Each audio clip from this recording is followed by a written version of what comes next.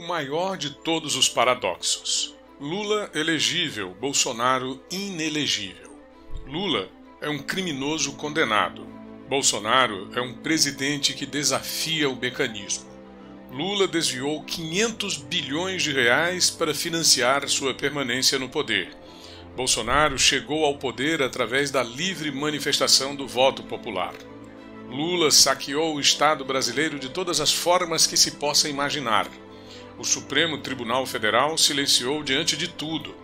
Muito raivosamente engoliu num primeiro momento as suas condenações.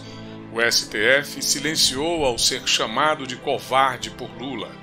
Silenciou quando Lula atacou mulheres, gays, quando disse que o vírus era uma coisa boa Silenciou quando os companheiros de Lula fizeram movimentos de repúdio ao sistema democrático e judicial, acusando juízes e o próprio STF de instalarem um sistema de condenação política no país.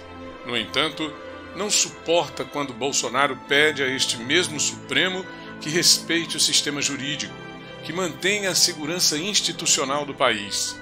O Supremo não suporta Bolsonaro porque ele é um presidente que dialoga diretamente com as massas e não precisa de intermediários para isso. Não precisa de intermediários para se manter no poder e enfrenta o sistema, segundo ele, para garantir que todos os brasileiros tenham tratamento justo, igualitário. Mas é verdade. Bolsonaro pode ficar de fora da próxima eleição. O Tribunal Superior Eleitoral instaurou um procedimento contra ele por conta de críticas reiteradas ao sistema eletrônico de votação. O ministro Luiz Roberto Barroso reagiu aos protestos de 1 de agosto antes mesmo deles ocorrerem.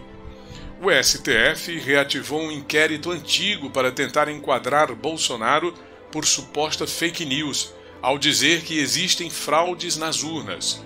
O ministro Alexandre de Moraes quer as provas das fraudes. Lula elegível. Bolsonaro inelegível. O Brasil está de ponta cabeça. A roda grande finalmente está passando por dentro da pequena.